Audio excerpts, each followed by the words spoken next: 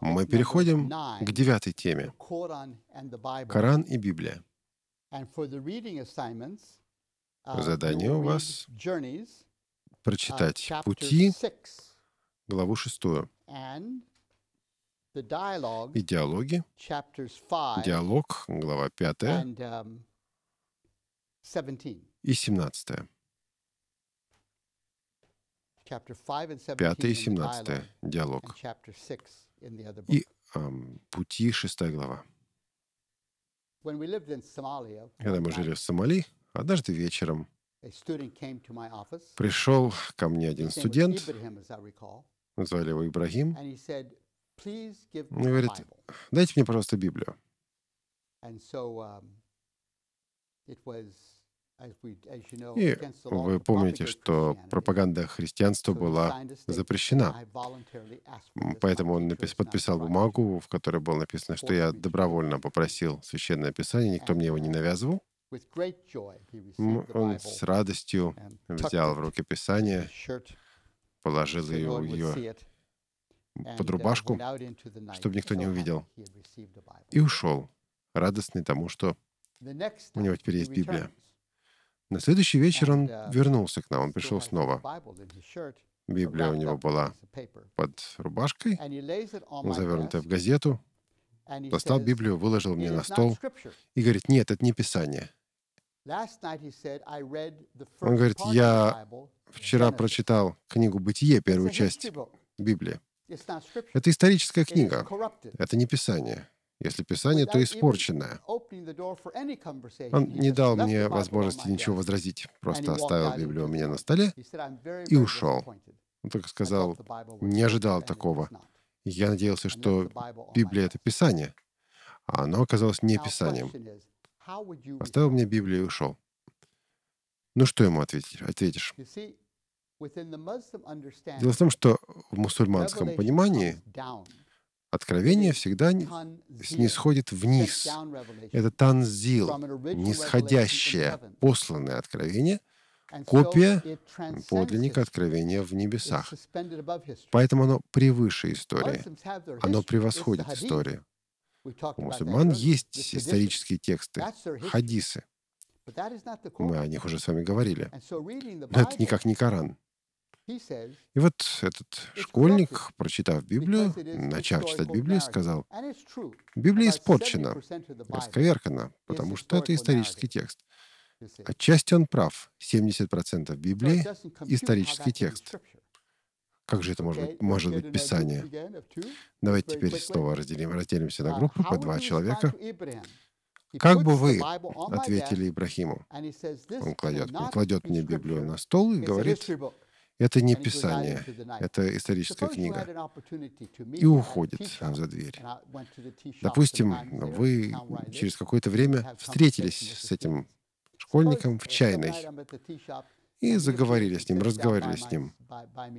Или я с ним разговорился. Как бы вы на моем месте ему ответили? Ответили бы ему на это обвинение, что Библия просто историческая книга, она испорчена.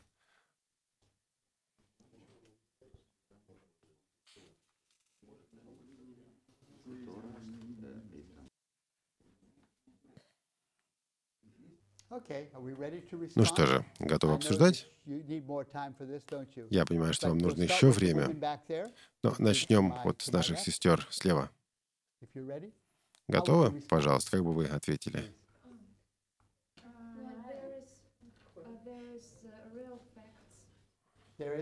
А, Библия содержит реальные исторические факты. И, ну и не знаю. Да, ну, по крайней мере, вы сказали, что Библия содержит реальные исторические факты, достоверные исторические факты. Хороший ответ. Да, это история, которая там записывается, это достоверная история. Библия — это единственное, единственное древнее изложение истории, которому можно доверять из всех древних изложений истории, и это самое достоверное. Албрайт, один из ведущих археологов XX века, говорил то же самое. А вы как думаете? Я согласен. Я согласна. В Библии немало исторических событий. Но во всех их, во всех них э, мы видим присутствие Бога. Да, отличный ответ. Спасибо. А вот эти наши богословы что скажут? Я бы начал с того, о чем вы нам уже говорили, по-моему, вчера, что согласно Корану у, священ... у христиан есть священное писание. Соответственно, израильтян и христиан нужно спрашивать, им нужно задавать вопросы. То есть я понимаю, что сейчас ислам говорит о том, что все писания исковерканы и испорчены. А, да, мы, конечно, понимаем, что у нас нет подлинной версии. Ислам говорит, что подлинника вообще никогда не было. Мы считаем, что подлинник был. Но все равно лучше читать Тору или Забур. Э, Забур — это, конечно, не богословие, а, а сборник псалмов, сборник гимнов. Такие книги любят мусульмане. Хорошо читать Инджил, и при этом используйте Коран для того, чтобы сравнить, для того, чтобы проверить, что правильно, что верно, что точно, что на самом деле говорит Бог. Попробуйте, а потом мы посмотрим вместе. Но проблема в следующем. Он-то ведь пытался прочитать Библию. Он пытался прочитать книгу «Бытие». Он стал читать Тору. И был этим очень рад вначале.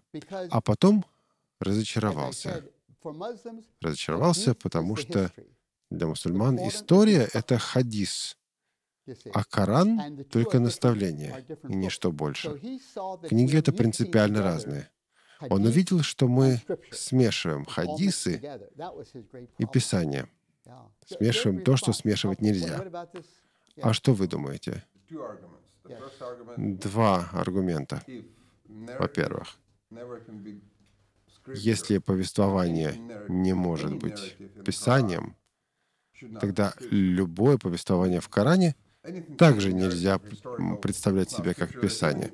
Если любое историческое повествование не является Писанием, то любая историческая часть Корана также не является Писанием. Второе. Если Коран говорит, что Тора, Забор и все остальное — это есть Слово Божие, то как же спорить с Кораном. Он должен был бы принять, что Коран это называет Писанием. Значит, это и есть Писание. Он ведь не с вами спорит, он спорит с Кораном. Против кого идешь? Против Мухаммеда идешь, против Аллаха идешь. И это весьма серьезно. Но на это у него нашелся бы ответ. Он бы сказал так. Дело в том, что это не может быть Писанием. Писанием кто-то когда-то все перепутал. И христиане, иудеи а, случайно соединили хадисы с Писанием. Писание оказалось испорченным, исковерканным. Если откровение снизпослано свыше, то оно не может содержать исторических текстов, потому что с точки зрения, с точки зрения Корана откровение над историей. Да, в Коране есть намеки на историю. Они оформлены как притчи, но самого исторического повествования а в Коране практически нет. Есть намеки на исторические события в качестве иллюстрации, в качестве притч, но такого раскры- открытого, откровенного исторического повествования там нет. А его мы находим только в хадисах. Э, именно поэтому, в частности, мусульмане некоторые предполагают, а другие совершенно уверены, что Библия исковеркана и испорчена. Я вам напомню, считается, что Коран сошел с небес, с главного откровения, с главной книги, которая находится в небесах. Вот это снисхождением, нисхождением мы называем танзил. Вот эта версия Корана превознесена над всей историей. И рядом с Кораном мы имеем хадис. Хадис, о которых мы говорили сегодня утром, это так называемые традиции, традиционные тексты. А, история. Но это совершенно разные вещи, разные книги. Хадисы — это описание поступков Мухаммеда. Историческая книга. Коран — Божие наставление о том, во что верить, как поступать. И исторические события использованы там лишь как иллюстрации, лишь как а, вкрапление. Ибрагим говорил мне, например, что Некоторые из этих исторических событий э, совершенно не наставляют. Например, Лот напился, и у него было кровосмешение, вступил в отношения с дочерьми. А, какое же это писание? Какое же это наставление? Можем ли мы сказать, что Божье откровение не бывает абстрактным? Иными словами, оно дано конкретному человеку в конкретном контексте. Без контекста оно существовать не может. Именно поэтому Библия представлена в подлинном контексте, потому что это откровение дано конкретному человеку. Коран был дан э, Мухаммеду, значит, у него тоже соответствующий контекст, и из контекста его нельзя вырывать. Нельзя контекст жизни Мухаммеда. Отличный христианский ответ на вопрос. Мусульмане на него так не ответят. Это не мусульманский ответ. Потому что, опять-таки, Коран выше всякого контекста. Коран превосходит контекст. Коран, в частности, организован по принципу сначала самая длинная сура, потом все короче, короче и короче, и до самой короткой. Коран не хронологически построен. А, дело в том, что если его хронологически построить, то покажется, будто исторический контекст каким-то образом помогает понять священное писание. Но для мусульманина такой подход чужд. Коран превыше всякого контекста, именно поэтому и исторически организовывать его тоже не нужно. Хронологически не нужно. Можно просто по длине текстов, по длине сур. Если бы Коран был контекстуализирован, если бы он нуждался в контекстуализации, его бы организовывали хронологически. Но он превосходит контекст, он превосходит контекстуализацию. Поэтому хронологически его организовывать нельзя. Мы uh, пытаемся посмотреть на Коран с христианской точки зрения. Мусульмане смотрят на него по-другому. Я вспомню снова тот диалог в центральной мечети города Лондона несколько лет назад. А, в частности, во время этого диалога мы как раз беседовали об откровении. И вот, наконец, я поступил так. Я спрятался за um, кафедрой, вот так, каф, спрятался за кафедрой и говорю, помогите мне, друзья мои. Я говорю моему оппоненту, помогите. Вот так вы понимаете откровение или нет? Что не Бог с нами встречается, что Бог с нами сам не встречается, но по милости своей посылает свое откровение нам на землю. Это называется танзил. Он посылает свое откровение для того, чтобы показать нам, как нам поступать, что делать, чего не делать. Но откровение превыше контекста, потому что оно не сходит свыше. Вы действительно так понимаете? Он говорит, нет, нет, не так. Не Бог приносит откровение, а Гавриил. Бог даже не участвует в этом. Хорошо, вы можете быть Гавриилом. Да, вы будете Гавриилом, а вы будете Моисеем. Хорошо. Встаньте на колени, будьте готовы получить откровение. Встаньте на колени, чтобы получить откровение Божие. Бог никогда к нам лично в исламе не приходит. Но по своей милости Он дает откровение Гавриилу. Гавриил, а ты, пожалуйста, отнеси Моисею. Моисей получил, да, Гавриил, получил Моисей откровение? С радостью получил. Да, отлично, отлично. Так, передал откровение, все в порядке. Вот этот процесс и называется танзил. Бог передал откровение Моисею. Так, Гавриил, садись на место, ты нам потом еще пригодишься. Вот это исламский подход к откровению. Но я тогда в мечети сказал, Библия смотрит на откровение иначе. Согласно Библии, Бог приходит к нам. Бог снисходит к нам и встречается с нами. Вот это смысл библейского откровения. Библейское откровение состоит в том, что мы можем узнать Бога по Его делам в истории. Смысл библейского откровения заключается в том, что Бог действует в истории, что Бог приходит к нам, встречается с нами в нашей истории. И что он делает? Он призывает людей, призывает народ Завета, чтобы мы стали его свидетелями во всем мире. Бог действует в истории. Бог не сходит к нам, чтобы искупить нас. Вот эта история его народа, верности ему, а иногда и мятежа против него. Все это содержание откровения Божьего. Пророки трудятся под водительством Святого Духа и свидетельствуют о Божьих делах в истории, а также истолковывают эти дела. Откровение включает и то, как мы принимаем это Божье откровение, и то, как мы его отвергаем. Это и есть смысл библейской веры. Так что Библия неизбежно становится исторической книгой, потому что Бог действует в истории, потому что Бог не просто посылает нам свою волю, но приходит к нам и встречается с нами в нашей истории. В исламе Бог посылает людям ислам. В Библии Бог приходит к людям сам. С самого начала, самого расцвета истории мы видим различное понимание откровения. Мы видим Божье обещание. Бог обещает, что придет Сын, который родится, а, Сын Божий, который придет в этот мир. Он и есть высшее проявление Божьего откровения. Так что я всегда очень рад, когда мне говорят о том, что вот Библия испорчена, потому что это историческая книга. Слава Богу, вы заметили, что Библия историческая книга. Именно в этом-то и дело. Именно об этом нам приходится говорить, когда речь заходит о природе откровения. Но вот когда мусульмане молятся Аллаху, ведь не говорил уже, может быть, кто-то молится Мухаммеду, конечно, не знаю. Нет, вообще-то не должны хотя некоторые, многие воспринимают Мухаммеда как посредника ходаты. Ладно, молятся Аллаху. Они ведь ожидают, что Аллах ответит на молитву. Может быть, не словесно ответит, но, по крайней мере, как-то в конкретных событиях жизни. Значит, Бог должен будет действовать в их жизни. Значит, у них должно быть какое-то понимание, что Бог участвует в вашей жизни лично, не просто через посредника. Иначе как Он может ответить на молитву? Есть у них какое-то понимание того, что Бог участвует в жизни? Да, определенное понимание есть. А,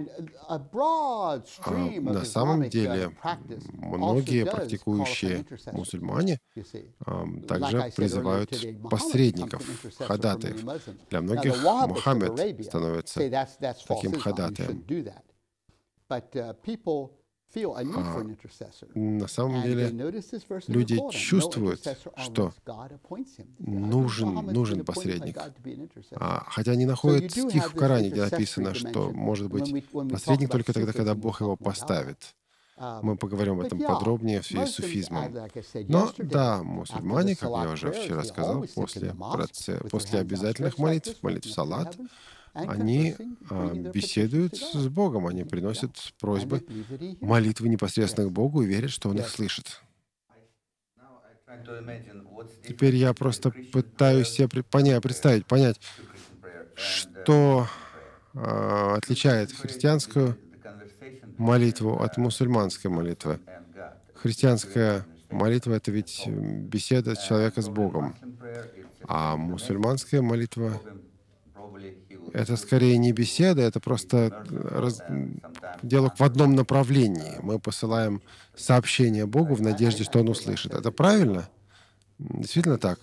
Да, я думаю, вы правильно подвели итог, подвели черту. Так оно и есть.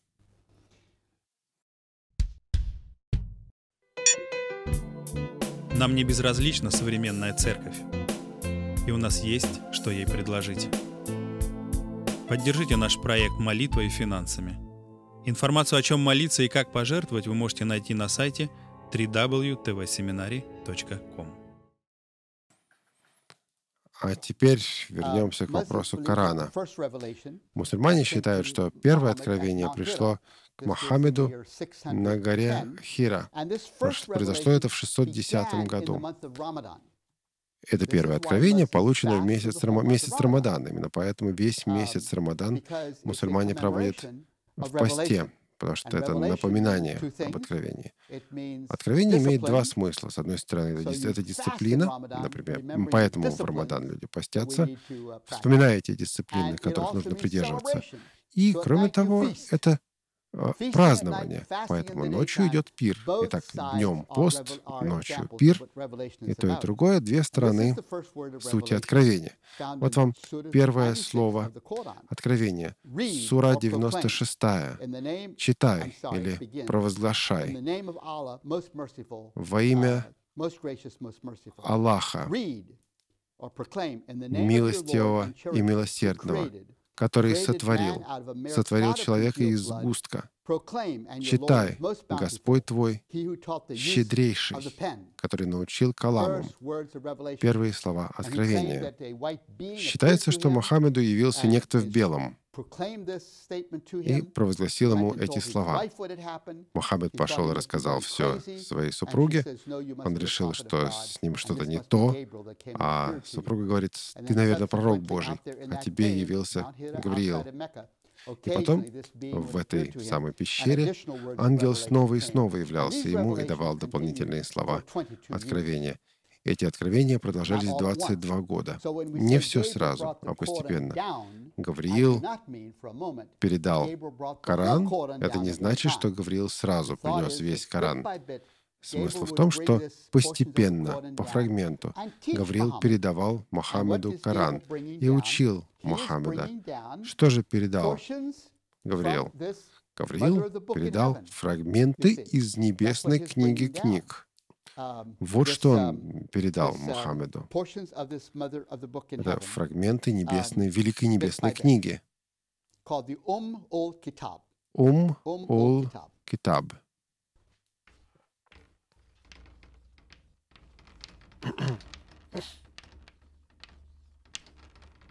Об этом мы читаем в 13 суре, аят 39.